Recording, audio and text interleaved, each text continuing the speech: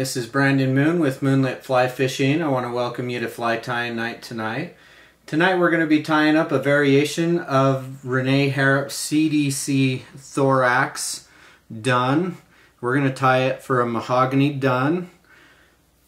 With that, I want to make sure and invite you, if you find any kind of value in this video or the content we're putting out, please do us a favor, make sure you hit the like button, leave us a comment, hit subscribe and the bell to receive future notification, and then share the video with others as well. This helps us get seen by the algorithm and helps us spread the word on the content we're creating. With that, we're going to put the hook in the vise. We're using the Moonlit Tagata Premium Barbless Tying Hooks, the ML102. I'm tying this in a size 14 today, but you can tie this anywhere from a size 12 to a size 18 on the mahogany dun or any size to match the mayflies in your area and color as well. But for the thread on this mahogany dun, we're using the Semperfli Classic Wax 12-aught in claret. We're going to take and get that started. Wrap there to the back bend of the hook. And then I'm going to take some medium dun CDC. And I'm just going to take a small couple fibers in here. I don't want too many.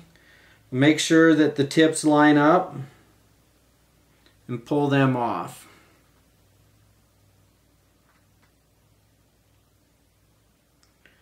And I don't want to get too many in there because the tail is not like a huge, there's not a whole lot of them. I'm going to measure that to be about the length of the hook shank. I'm going to lay that kind of at an angle on the side there. Wrap a little light and then tighter as I pull down. You can see my tail's standing straight out there. We'll wrap and secure that going forward. And then I'll just trim that CDC right there at my tie-in or my starting point, which is about two thirds, three quarters of the way up the hook shank. And that's my thorax area right there. So we'll just wrap going rearwards again. I'm going to stop just shy, and I'm going to put two wraps of thread back underneath just to help support that tail just a little bit. For the body on this, we're going to use a medium Semperfli Perfect Quill in a size medium. And I'm also using the clear. And I'll just wrap that sticky side facing away from me and I also want the black ridge strip on that facing the back side of the hook. We'll just secure that down with nice touching wraps going forward.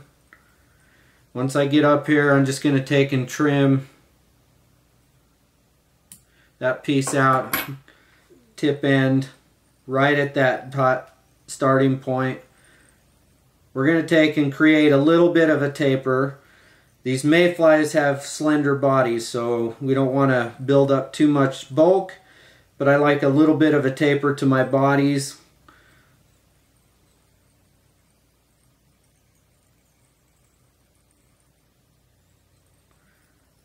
And I'll do that about three times. And then I'll half hitch this. And I always make sure I have a nice even point to finish off my quill here. So I'm going to take this quill, I'm going to do the first wrap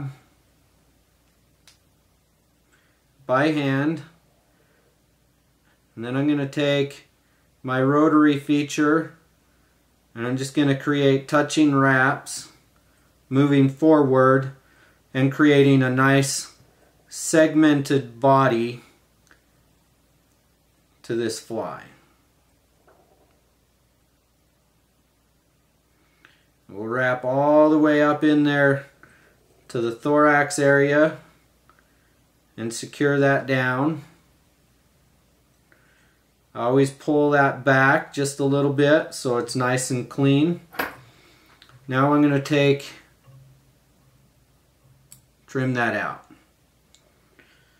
Alright, so instead of using CDC on this fly like Rene Harrop does, I've got some medium dun Semperfli poly yarn. I've taken and cut a strip off. I've actually separated it in half. And I'm just going to kind of take this and I'm going to trim the ends off just so they're a little more even like so. I'm going to measure this basically the gauge of the hook gape there.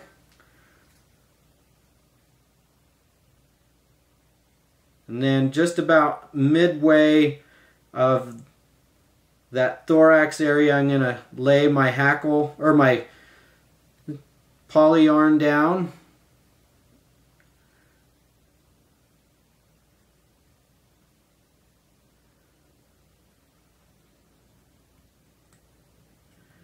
Kind of want to stand that up a little bit so that I can create some wraps. I'm trying to capture the least amount of fibers.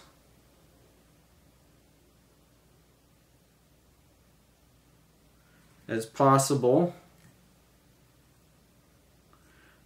just to keep it as clean as possible. Now I'm going to kind of hold that other side up I'm going to wrap just kind of like I would a parachute post a little bit. Got one funny fiber there in the front, pretty good on the back. I'm going to take and trim off this funny one poking forward just a little bit. Now I can take and trim that out. And that's going to give me my wing. There's one right there. I'm going to take a medium dun rooster saddle feather. This one's from Whiting. I'm going to take and secure that down. If you notice on one side of this feather, I've actually stripped about a wrap or a quarter of a wrap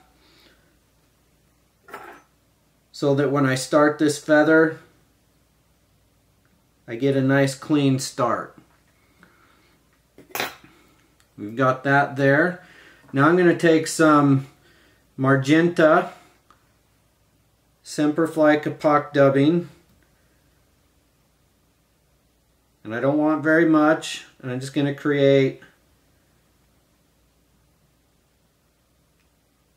a little dubbing noodle here.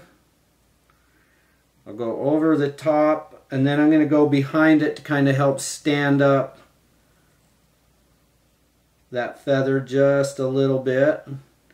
We'll wrap and create our thorax.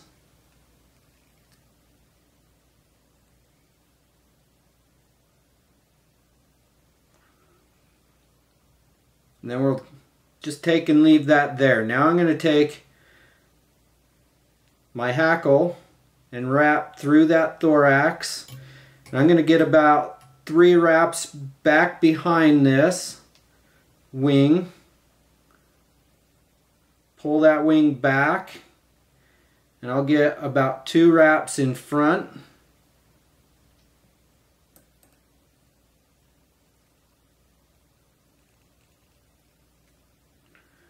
Secure that down.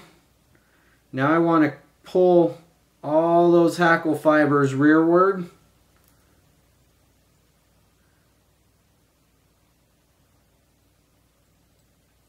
Just so that I can keep that as clean as possible.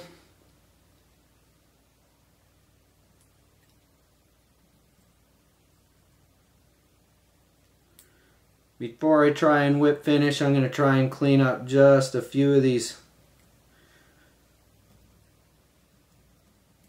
forward facing hackle fibers just to make it easier. Now I'm going to take my whip finish tool and I'm just going to give it a nice whip finish. One, two, three.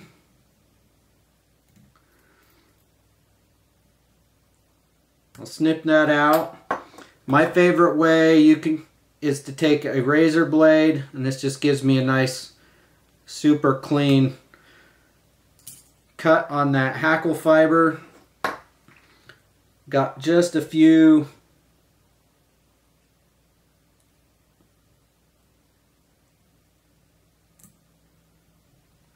fibers I want to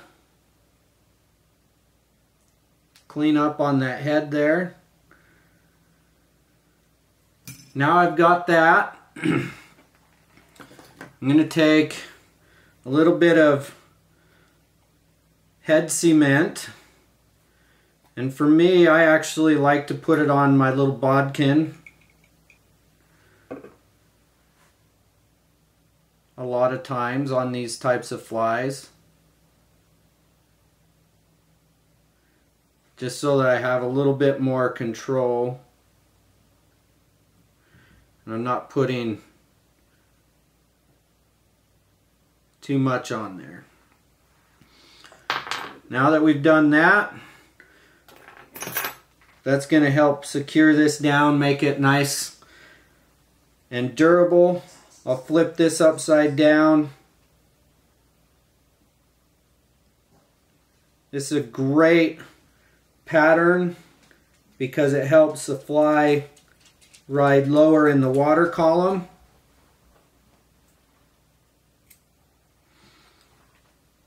like a natural insect. Few fibers there just need to be trimmed out. And there you have a Rene Harrop CDC Thorax quill body mayfly. This is a mahogany dun version. This is tied with a poly yarn more durable than CDC, also cheaper and great variety of colors, a lot easier to get access to. So again with that, I want to say thank you for watching the video and spending time with us this evening. If you find any value at all, make sure you hit the like button, leave us a comment, hit subscribe and the bell to receive future notification, as well as sharing the video. This helps us with the algorithms and helps get our content out there and we appreciate your support a great deal. You have a wonderful evening.